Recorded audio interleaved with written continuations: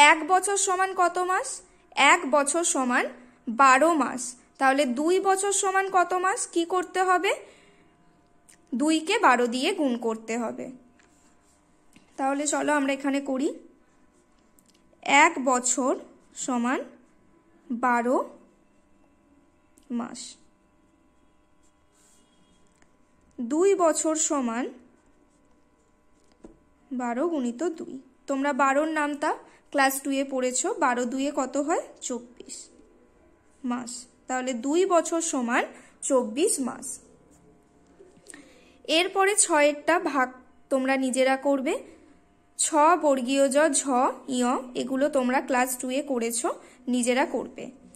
নয়ের দাগের অঙ্কটা আগের ক্লাসেই হয়ে গেছে। এরপর দেখো দশের দাগের অঙ্কে কি বলছে? বিয়োগ করো।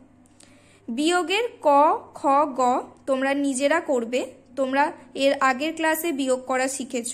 ঘ আর উয়া, এই দুটো অঙ্ক কেটে দাও, তোমাদের করার দরকার নেই। পূর্ব পাঠের যে পেজ নাম্বার এইট আছে, এই পেজ নাম্বার এইটের কোনো অঙ্কই তোমাদের করতে হবে না।